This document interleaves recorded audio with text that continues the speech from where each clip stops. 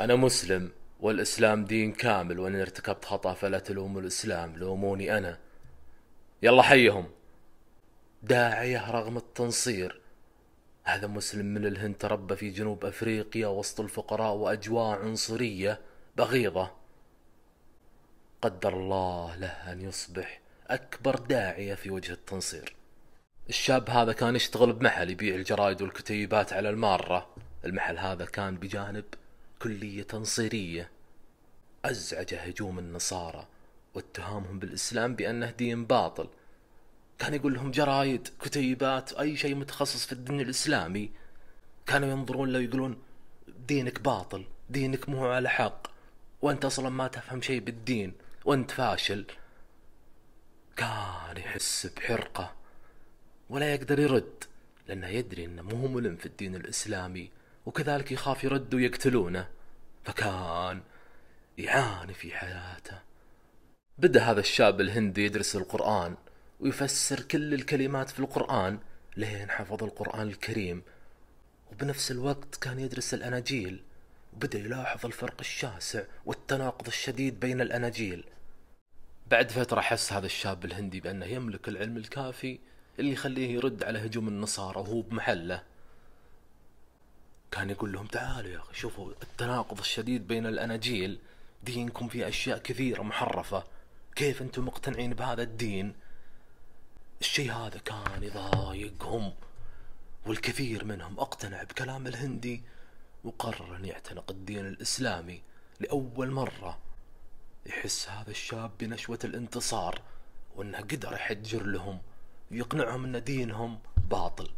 اشتهر هذا الشاب الهندي في جنوب أفريقيا وقرر أن يقضي كل عمره لنشر الدين الإسلامي الصحيح. استطاع الهجوم والرد على معتقدات النصارى الباطلة والأديان المحرفة بمعاونة رفيق دربه غلام فونكا. فعلا اشتهر هذا الشاب المسلم الهندي وأصبحت تقام له مناظرات مع أكبر القساوسة حتى وصل إلى العاصمة كيب تاون وقام فيها أشهر مناظراته في جنوب أفريقيا. الشاب المسلم الهندي أقلق الكنيسة العالمية وزلزل عروشهم بمناظرات التي وصلت لقلب عاصمتهم الكبيرة لندن. وأقام مراكز دعوية في أفريقيا تخرج منها المئات من الدعاة في مجال المناظرات. هذا الداعية العظيم قاهر الصليبيين في العصر الحديث.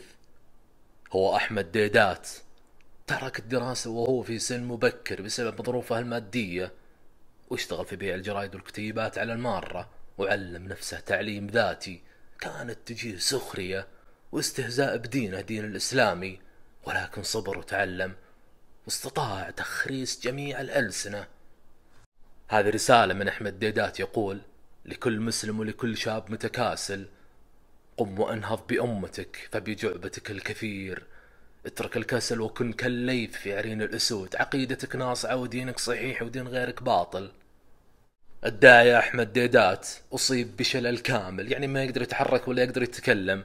الشيء الوحيد السليم في جسده هو الدماغ فقط. ممكن أغلبكم يعتقد أن الداعية أحمد ديدات ترك الدعوة للإسلام بسبب المرض. لا لا لا لا. وهو على فراش المرض. اخترع طريقة الرد للإشارة بالعين.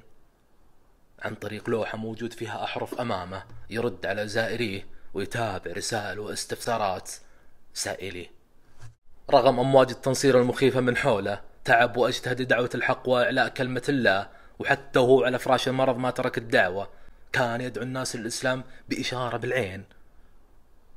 رجل من زمن الصحابة رجل بأمة همة تناطح الجبال أسد الأمة الإسلامية أحمد ديدات اللهم صل وسلم على نبينا محمد. إن أحسنت فمن الله وإن أخطأت وأسأت فمن نفسي والشيطان. السلام عليكم.